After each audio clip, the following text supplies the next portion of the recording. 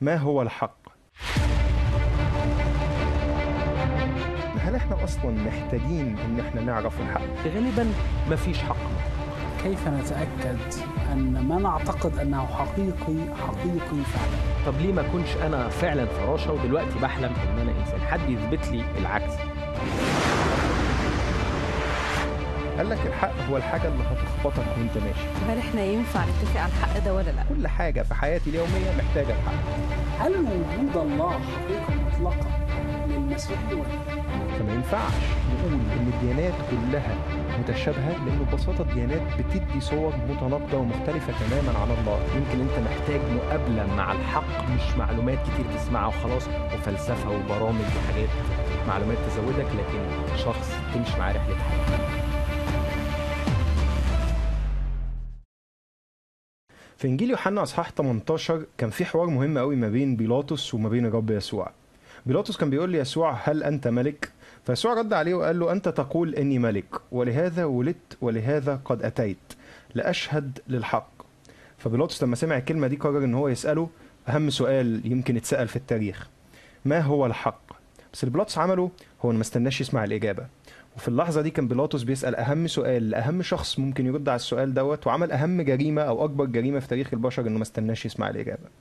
السؤال دوت حقيقة ما فيش حد فينا يقدر يعيش من غيره. ما هو الحق؟ خلينا نحاول نحط تعريف بسيط للحق. الحق هو ما يتفق مع الواقع. بمعنى إنه لو أنا قلت لك جملة مثلا وأنت عايز تعرف هل الجملة دي حقيقية فعلا هل الجملة دي أقدر أقول عليها حق ولا لأ أنت بتشوف الجملة دي متفقة مع الواقع ولا مش متفقة. فأنا لو مثلا قلت لك إنه أنا موجود في القاهرة بتروح تشوف مكاني وبتبص على الخريطة وبتعرف المكان اللي أنا فيه ده. لو أنا في القاهرة فعلا يبقى الجملة دي حق. لو أنا مش في القاهرة يبقى الجملة دي مش حق. ده على مثال بسيط. لكن تعال نطبق دوت على كل حاجة في حياتنا. هل إحنا أصلا محتاجين إن إحنا نعرف الحق؟ هل إحنا بنحتاج إن إحنا نشوف الواقع زي ما هو ولا عندنا ما عندناش مشكلة إن إحنا نمشي بأكاذيب؟ عكس الحق هو الكذب. هل ممكن نعيش بالأكاذيب ولا إحنا محتاجين الحق؟ أعتقد إنه في تعريف واحد قاله للحق ممكن يخلينا نشوف الموضوع بصورة أخطر شوية. قال لك الحق هو الحاجة اللي هتخبطك وأنت ماشي. يعني مثلا لو أنا في الأوضة دي ومقتنع تمام الاقتناع إن الأوضة دي ما فيهاش عواميد وقررت امشي وأنا مغمض هلبس في عمود هقتنع إن فيها عمود. لأنه الحق مش بيتغير على حسب قدرتي أنا على إني أشوفه أو على حسب قناعتي أنا بيه. الحق موجود وأنا اقتنعت بيه أو ما اقتنعتش هو هيفضل موجود ومؤثر فيا. طيب هل أنا في حياتي محتاج الحق؟ أعتقد إن إحنا لو قلنا إن إحنا مش محتاجين الحق مش هنعرف نعيش. لو أنا رحت للدكتور والدكتور دوت قال لي آه إن أنا عيان عندي سرطان آه وبعدين قال لي على فكرة مش شرط اللي أنا بقوله دوت يكون الحق ممكن يكون عندك برد آه مش مشكلة الحق نسبي. أنت صدق اللي أنت عايزه. غالبا هضرب الدكتور دوت لأنه آه في جملة من دول أو حقيقة من دول ممكن تخليني أموت وحقيقة من دول ممكن تخليني آخد برشامة أتعالج في يوم. آه لو أنا في علاقة مثلا بحب واحدة أو متزوج وهي قالت لي بحبك أو مش بحبك مش هتفرق الحق نسبي غالبا هننفصل لأنه إحنا مش هينفع نكمل مع بعض وأنا مش عارف انت موقفك مني إيه. نفس القصة لو أنا عندي ميعاد طيارة مش هينفع آخد ميعاد الطيارة دوت على إنه حق نسبي وأقول مش مشكلة أنا شايفها الساعة 11 وهم شايفينها الساعة 9 مش هوصل. فأنا ما ينفعش أقول إن أنا مش بتعامل بالحق أو مش محتاج الحق لأن كل حاجة في حياتي اليومية محتاجة الحق. الفكرة بقى كمان يا ماركو هل إحنا ينفع نتفق على الحق ده ولا لأ يعني وانت بتقول الطرح بتاع فكرة الحق نسبي ولا لأ يعني ساعات بنشوف مثلا مثل وخليني أقوله إنه مثلا لو افترضنا إنه إحنا عاملين رقم ستة مم. آه بالإنجليزي اللي هو بيبقى زيه تسعة آه وفي واحد واقف على اليمين وواحد واقف على الشمال مم. فاللي واقف هنا شايفها تسعة ومصر إن هي تسعة واللي واقف واقف هنا شايفها ستة ومصر إن هي ستة وكأن هم عايزين يقولوا من ال- من القصة دي أو من المثال ده إنه مم. آه، إحنا كلنا بنشوف نسبة من الحق. لكن ما فيش حد بيشوفه كله أو آه، بمعنى أصح يعني الحق ده مش حكر على حد وهو اللي عارفه كله هو اللي يقدر دي عنصرية يعني. هو المتبني الصح ده ووجهات النظر التانية ممكن تكون جزء منها أو يعني أنتوا مم. قادرة أفهمكم من, من نفس المنطلق ده يا ستير في العصر ما بعد الحداثة اللي هو من 1960 تقريبا ابتدت الناس أكتر تنفر من فكرة إنه في حق مطلق مم. غالبا ما فيش حق مطلق.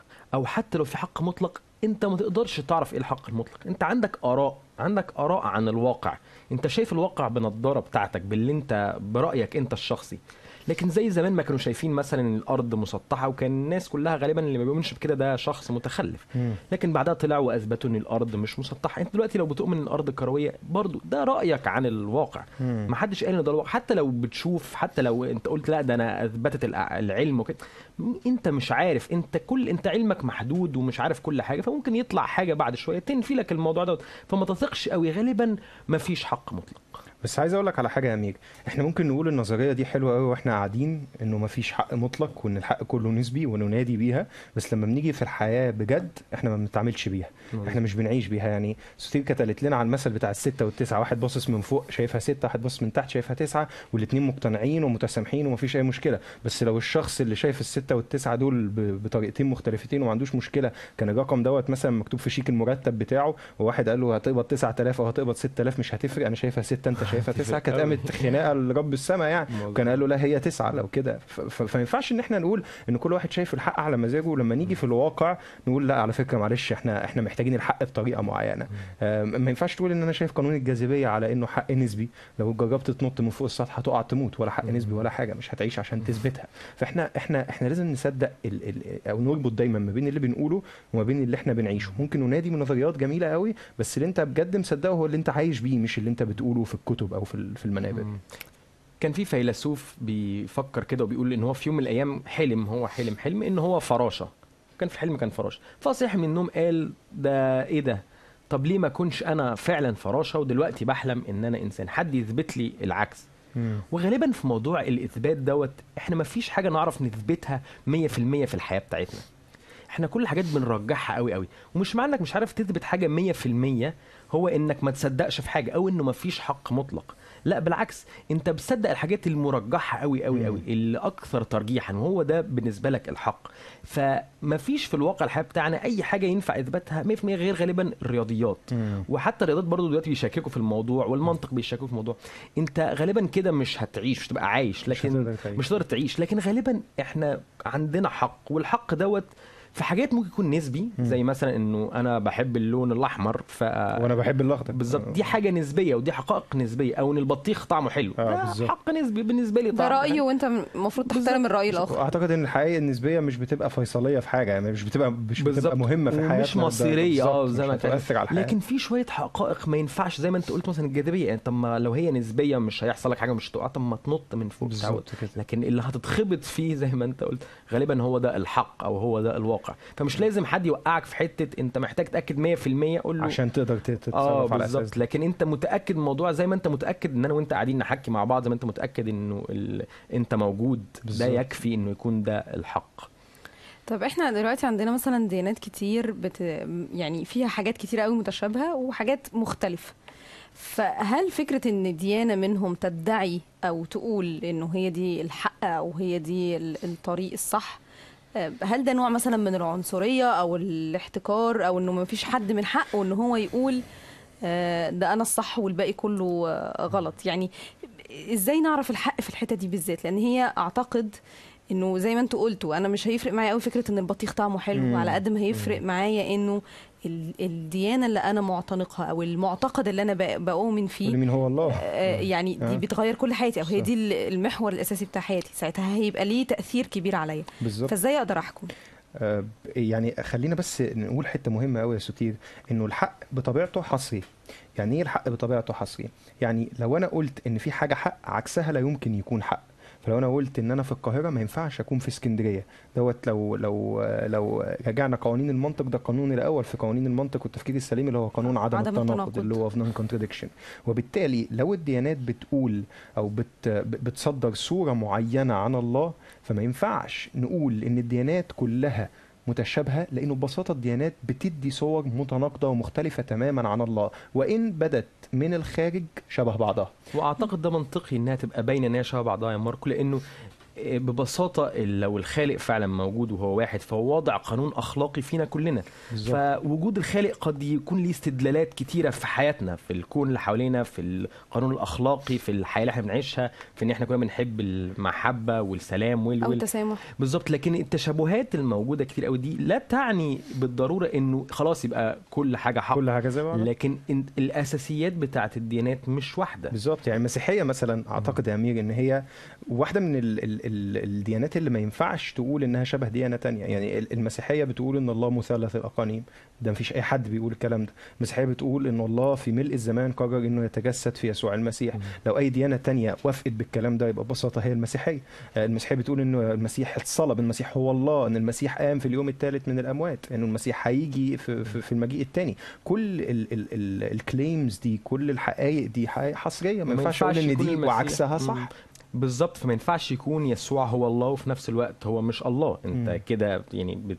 أين هو الحق؟ أنت كده عومت الموضوع وبتعمل برضو نفس فكرة التناقض. وبعدين ممكن يقول لك إيه طب ما الديانات كلها بتدعو للتسامح مثلا. آه. ممكن تكون الديانات كلها بتدعو أو دي يعني الديانات السماوية زي ما بيسموها بتدعو للتسامح بس أنت ما ينفعش تبص على المنظر من فوق بس. إيه الأساس اللي الديانات دي بتدعو ليه؟ على- على أساسه للتسامح يعني. ما ينفعش إن أنا أقول لحد مثلا اغفر بدون ما يكون حد دفع الثمن المسيحية ما بتقولش إن الله غفر لنا بدون مقابل لكن بتقول إن الله علشان يقدر يغفر كان لازم حد يدفع ثمن خطايانا وبالتالي يسوع المسيح اتصلب ودفع الثمن تمام العدل والرحمة بالظبط كده وبالتالي بقى في. اتساق في شخص الله ما بين عدله فهو عادل لأنه بيجازي الاسم وفي نفس الوقت ما بين رحمته لأنه خلقته اللي بيحبها دفع عنها الثمن لكن ديانة تانية لما تيجي تقول لك أنت اغفر ومش مشكلة مين دفع الثمن ده عكس تماما اللي المسيحية بتقول. المسيحية بتقول في ثمن لازم يدفع لدرجة إن الله هو اللي قرر يدفعه بذاته.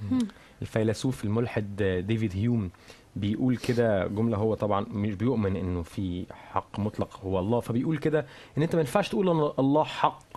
ليه؟ ببساطة لأنه الحق هو لازم يخضع لحاجتين حاجة من يا إما إن هو empirical أو تجريبي يخ... ينفع يخضع للتجربة ينفع تحطه تحت الميكروسكوب ينفع تعمل له تجربة معملية. تجربة آه. بالظبط معينة فتثبت ان هو حق أو اللي هي الحقائق المجردة زي واحد مثلا زائد واحد. واحد ال- الرياضيات زي القوانين المنطق هي دي الحقائق المجردة اللي ما فيش أي عالم تاني ممكن كان يبقى موجود من غيرها. لكن ما ينفعش تقول عن أي حق تاني أو عن أي فكرة تانية ما تخضعش للتجربة إن هي دي حق. أكيد هتبقى مش موجودة.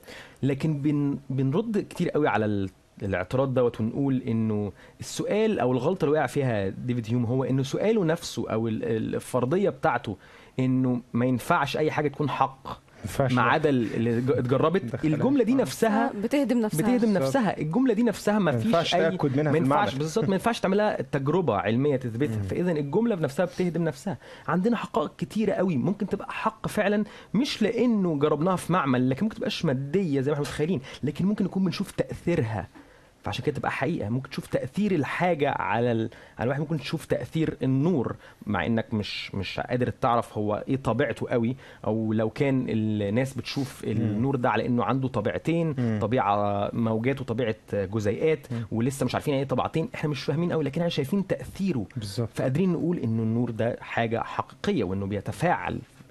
آه كمان يا امير فكرتني إن كانت عمل حاجة شبه ديفيد هيوم شوية.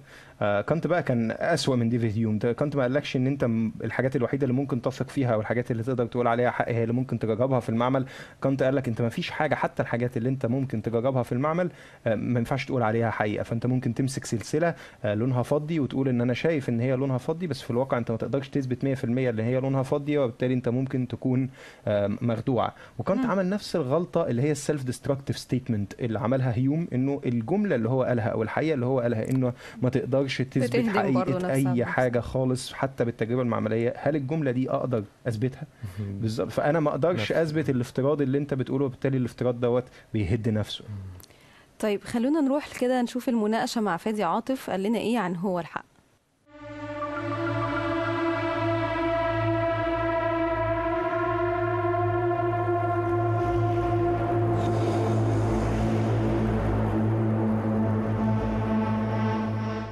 ازيك يا فادي؟ أهلا ستير آه بنسمع كتير اليومين دول جملة الحق نسبي ومحدش عنده الحق المطلق.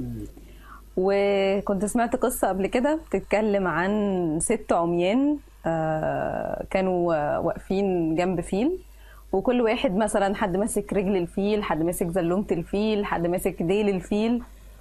ولما اتسأل كل حد من دولت اشرح أنت كنت ماسك إيه؟ أو إيه الحاجة اللي أنت كنت ماسكها دي؟ طبعا كل حد فيهم شرح حاجة مختلفة تماما عن التاني.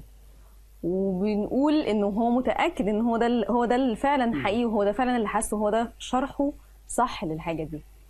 لكن الحقيقة إن ولا واحد فيهم قدر يعرف الفيل صح. إن واحد قال ده عبارة عن خرطوم كبير واحد قال ده عبارة عن حيطة أو عمود مدور.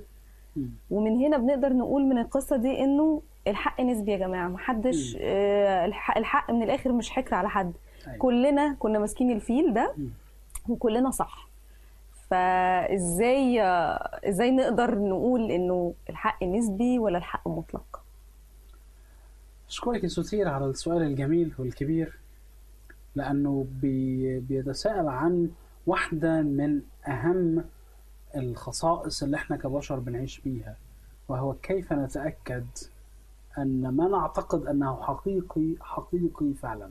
يعني إزاي نتأكد أن, الح... إن دي الحقيقة فعلا أن ده كتاب أن دي كوباية؟ إزاي نتأكد من الأمور أنها حقيقية فعلا؟ والحقيقة إن القصة دي بتلخص حاجة حقيقية فعلا. فهي بتلخص إن مشاهدات البشر فعلا نسبيه إزاي إحنا بنتصور أو بن... بن...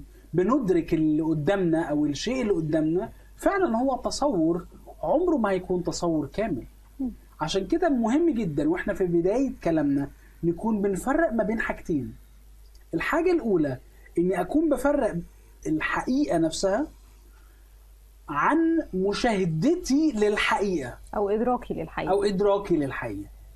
دول حاجتين مختلفتين عن بعض. الحقيقة نفسها لا يمكن يكون فيها احتمال.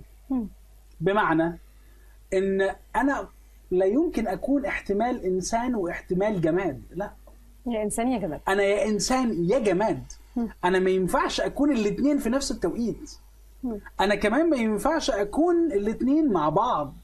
لا. أنا يا إنسان يا جماد. الحقيقة في جوهرها. خليني أقولها بالطريقة دي. الحقيقة في جوهرها. مش كده أنا بحب أستخدم المصطلح ده أكتر من فكرة الحقيقة المطلقة.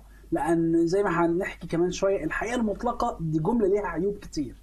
لكن كلمة الحقيقة في جوهرها هناك جوهر حقيقي واحد.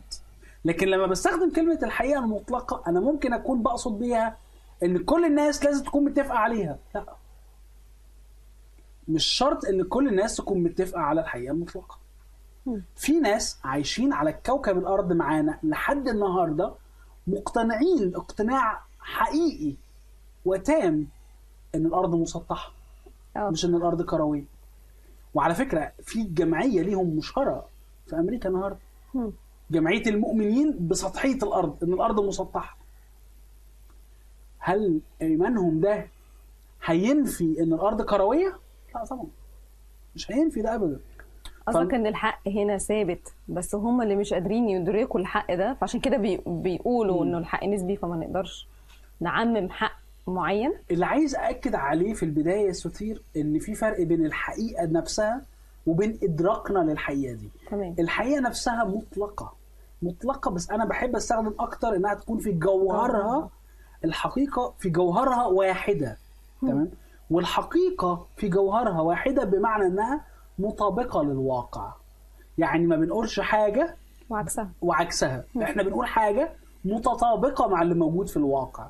لو إحنا الاتنين ماشيين في غابة وشاورت لك على شجرة وقلت لك دي شجرة و... وأنت قلت لي دي جملة حقيقية إيه اللي بنقوله إحنا لبعض هنا؟ أو إيه اللي أنت بتقوليه لي لما تقولي دي جملة حقيقية فعلا يا فادي؟ أنت بتقولي لي ببساطة إن فعلا اللي أنت بتقوله أو وصفك للي أنت بتقوله مطابق. للواقع موجود جوه الواقع. لكن في حاجات أكبر من كده يا ستير إدراكنا فيها لأنه محدود ولأنه صغير ممكن ما يعرفش يشوفها كلها. عشان كده البشر بيختلفوا كمثال هل وجود الله حقيقة مطلقة للمسيحي ولا لا؟ هقول السؤال مرة تانية. هل وجود الله بالنسبة للمؤمن المسيحي حقيقة مطلقة ولا لا؟ رغم إن أغلب البشر اللي عايشين معانا على الكوكب بتاعنا ده أو عشان ما أقولش أغلب ممكن يكون نصهم مثلا مش مؤمنين إن الله موجود. لكن مع ذلك ال- الحقيقة المطلقة أو الحقيقة في جوهرها لا تتأثر بطريقة مشاهدتنا. أو بإيماني بيها أو لأ. أو بإيماني لو بيها. أنا مش مؤمن لو مثلا الجاذبية وهي حاجة حقيقية وموجودة كون إن أنا مش مؤمن بيها ده لا يعني إن قانون الجاذبية مثلا هيقف لو أنا رميت نفسي من البلكونة. بالظبط ف... صحيح المشكلة المشكلة بتبقى أكبر في الأمور اللي إحنا مش شايفينها. يعني دايما هنلاقي إن الخلاف على الأمور المحسوسة اللي الحواس بتقدر توصل ليها هنلاقي إن الاختلاف عليها مش هيبقى كبير. الأمور بتبتدي تبقى معقدة أكتر لما بنبتدي نتكلم عن أمور خارج الواقع المادي. هنا الدنيا بتبقى معقدة أكتر. وده بيخلي العملية التفكيرية صعبة. أحكم إزاي إذا كان الله موجود ولا مش موجود ونبتدي يحصل خلاف. ويبتدي يتقال لأ دي على فكرة رؤيتك أنت ده رأيك أنت ده مش ملزم ليا. آه. بس السؤال بيبقى دايما هل رأيي له ما يبرره؟ وهل رأيك له ما يبرره؟ ال- الاعتقاد عشان يكون اعتقاد صحيح وحقيقي لازم يكون ليه أسباب قوية. يعني لازم يكون عندي أسباب تجعلني أعتقد فيما أعتقد فأنا لو مؤمن إن آه، الله موجود لازم يكون عندي أسبابي لكده. ولو أنت تعتقد إن الله مش موجود لازم يكون عندك أسبابك لكده. السؤال مين فينا اللي عنده أسباب حقيقية فعلا؟ ولما نيجي نوزنها مين فينا اللي عنده أسئلة تجاوب وتفسر الأدلة بشكل واضح بشكل قوي بشكل متسق بشكل مظبوط؟ مين فينا اللي عنده القدرة دي يعني أنتوا في النهاية ما ينفعش أنتوا الاثنين تطلعوا صح. ما ينفعش إحنا الاثنين في النهاية نكون صح. يعني الله يا إما موجود يا إما مش موجود. ده معنى إن الحقيقة مطلقة في جوهرها ولكن علاقتنا بيها عاملة إزاي. علاقتنا بالحقيقة شكلها إيه؟ لا. علاقة إحنا كائنات أنا دلوقتي شايفك بس أنا مش شايف ورايا. ليه أنا مش شايف ورايا؟ رغم ان ورايا موجود بس أنا مش شايفه لأن منظوري. ما يقدرش يشوف كل حاجة. هم. ما يقدرش يشوف 360 درجة. هو بيقدر يشوف اللي قدامه بس. لكن ده ملوش علاقة بجوهر الشيء اللي موجود ورايا. الشيء اللي موجود ورايا موجود. بغض النظر أنا شايفه ولا لأ. دايما السؤال الأصعب بيبقى نتعامل إزاي مع الأمور اللي إحنا مش شايفينها ونفكر فيها إزاي على إيه هو الحقيقي وإيه هو اللي مش حقيقي. طيب هل آه، معرفة الحق الديني مم. ممكنة؟ يعني هل نقدر نعمل ده؟ هل نقدر نتوصل لحقائق فيما يخص بالإيمان أو ال- أو المعتقدات؟ الحقيقة ده سؤال واسع جدا يا سوتير بس خليني أحاول أضيقه شوية. فهاخد واحد بس من معطيات الحق الديني ده اللي هو مثلا هل ال- الإله موجود ولا لأ؟ فعشان أوصل إذا كان الإله موجود ولا لأ الحقيقة إن الكتاب المقدس بيقول إن الله أعلن نفسه وبيقول إن الله أعلن نفسه من خلال الخليقة. فأنا مثلا لو بصيت في الخليقة حواليا أو بصيت في الكون اللي موجود حواليا وبدأت أدرك إن كل شيء في الحياة بيحصل ليه سبب. لابد إن أنا أكون بتساءل. طب هل الكون ده له سبب هو كمان؟ مين اللي جابه؟ ولما أبص أكتر في الكون وأكتشف إن الكون مضبوط بشكل دقيق جدا جدا جدا لدرجة تسمح للحياة بإنها تنشأ على الأرض.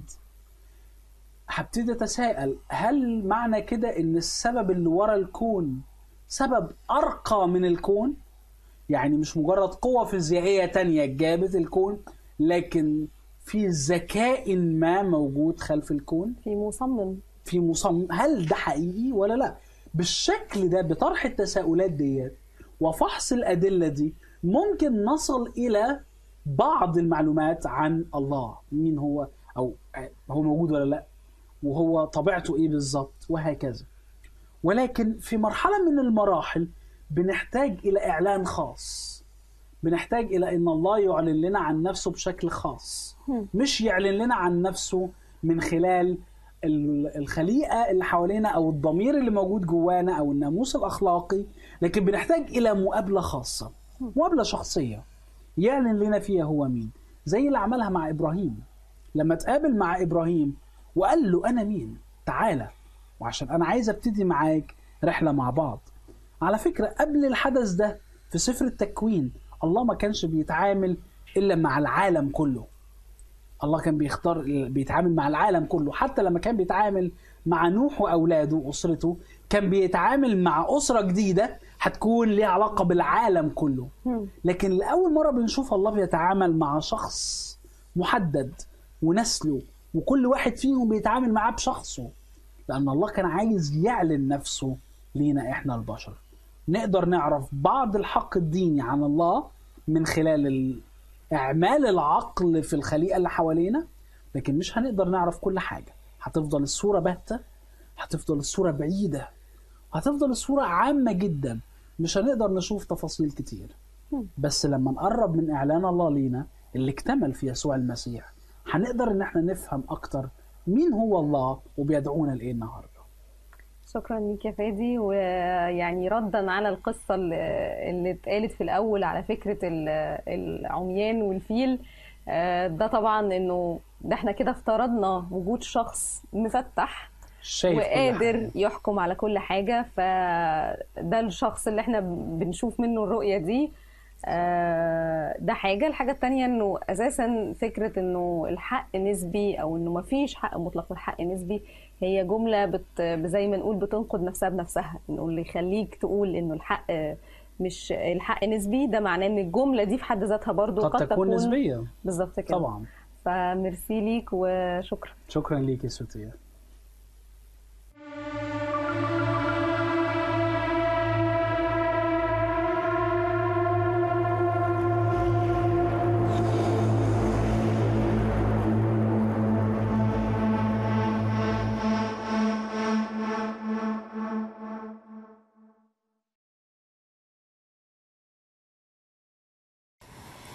أعتقد إن المسيحية تفردت قوي بمفهومها عن الحق عن باقي الديانات أو الخلفيات أو الثقافات اللي حوالينا. المسيحية بتقدم الحق مش على إنه معلومات أنت بتعرف عنها لكن على إنها شخص شخص يعرف. المسيحية اللي بتقول في يوحنا واحد أما النعمة والحق فبيسوع المسيح صارا وأكتر من كده في يوحنا 8 بيتكلم بيقول وتعرفون الحق والحق يحرركم. معرفتك للحق هي الحاجة اللي تخليك تعيش الحياة الحقيقية الحياة اللي ليها معنى الحياة اللي بحرية بجد. والحلو قوي إن كلمة تعرفون في يوحنا 8 هي الأصل بتاعها اليوناني ginosko. ginosko هنا مش معناها المعرفة العقلية لكن بتيجي بمعنى المعرفة العلاقتية نفس الفعل المستخدم في تكوين أربعة واحد فعرف آدم حواء فحبلت ولدت شيث. إنه المعرفة الحميمية اللي متصورة في الجواز هي نفس المعرفة اللي بيتكلم عنها إنك تعرف الحق إن يكون لك علاقة بالحق. يمكن الحق فعلا ما نقدرش نوصل له تماما لكن المسيحية بتقدم إن الحق اللي وصل لك. الديانات التانية ممكن تقدم انه الله اللي سبحانه وتعالى المسيحية بتقدم الإله اللي سبحانه وتنازل اللي بيتكشف اللي بيعلن نفسه للإنسان اللي عايز الإنسان يعرفه. وآخر حاجة لما المسيح بيتكلم عن نفسه بيقول أنا هو الطريق والحق والحياة. يمكن انت محتاج مقابلة مع الحق مش معلومات كتير تسمعها وخلاص وفلسفة وبرامج وحاجات معلومات تزودك لكن شخص تمشي معاه رحلة حياتك.